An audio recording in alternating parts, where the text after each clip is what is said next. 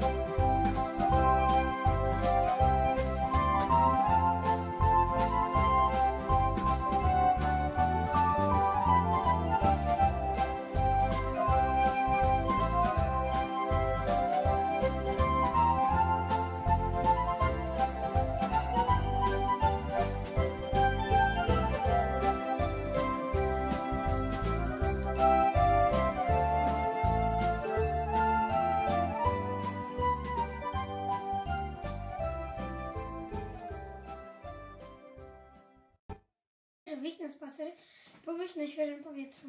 Nie należy prze, przebywać godzinami przed komputerami i telewizorami. Mieliśmy lekcję online i dużo czasu spędzaliśmy przed komputerem. Ważne jest również bezpieczeństwo duchowe. Należy pamiętać, żeby unikać wszelkiego zła, ponieważ oddala nas to od nieba, które jest najbezpieczniejszym domem dla nas.